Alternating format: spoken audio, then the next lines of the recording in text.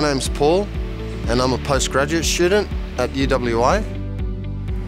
I chose to do the Masters of Public Health here at UWA because I think the school offers a very broad array of units which appeal to me. I didn't know specifically which area I wanted to end up in. So my primary interest when I did my undergraduate degree was science, so it was more lab-based research and when I decided to move into public health, I saw that as a wonderful opportunity to be able to bring forward all of the work that's done in the research arena and become translated on the ground and make that actual impact within populations. That's what really excited me. So one of the things I noticed moving from an undergraduate degree to postgraduate degree was that the staff really treated you more like a colleague than a student and they were very genuinely interested in the type of research I wanted to do and helped me to pursue that and facilitate that. So they helped me secure funding, they helped me establish international collaborations um, and were very supportive through the whole process and I think really I wouldn't have been able to do, set up my own kind of PhD project if I didn't have their support. Think one of the great things we can offer to our students here is they get exposure to not only uh, teaching and a range of units but also some opportunities to be involved in research. So we have um, a number of research projects at the moment where we have students uh, who get the chance to be involved in a work experience capacity.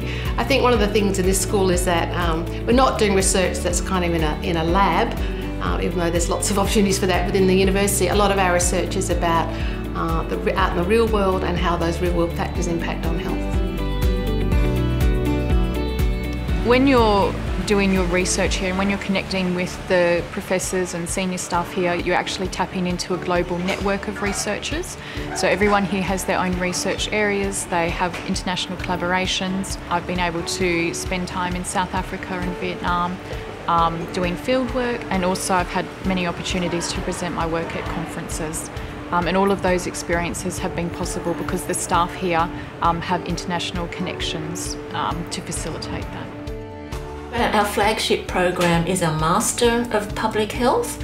So the Master of Public Health is an internationally recognised qualification and certainly our MPH is well respected both nationally um, and internationally.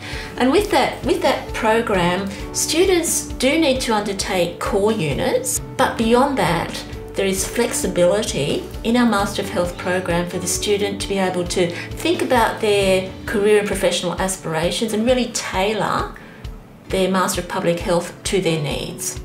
Um, so for me, I have a very specific interest, which is in maternal and child health, and particularly in developing countries. So one of the reasons why I was drawn to the course at UWA was that I would be able to do research in that area, but also really connect with clinicians and people who work in that area on the ground. So it's not just about being behind a computer analysing data, it's about doing research that's going to have an impact on policy and, um, and have some clinical value as well.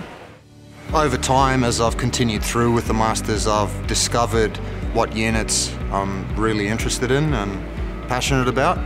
I absolutely love those units because they are really the, the evidence that comes through to translate into the impacts that happen in the community on the ground. That's what really excited me and, and brought me there. And equally, I'm excited to once I complete this degree, to go out and bring all of that study that I've done into life and experience the real world.